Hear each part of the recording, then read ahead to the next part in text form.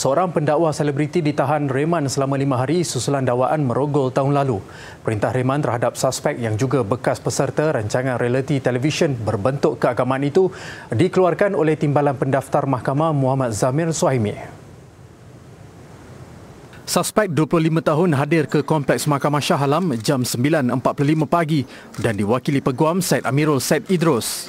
Dia ditahan kira-kira jam 11 malam semalam selepas tampil memberi keterangan di Ibu Pejabat Polis Daerah Shah Alam.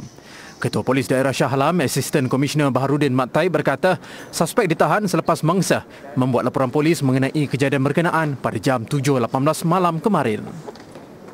Difahamkan mangsa berusia 23 tahun keluar dengan suspek yang dikenali menerusi media sosial Instagram pada jam 8 malam 11 September tahun lalu.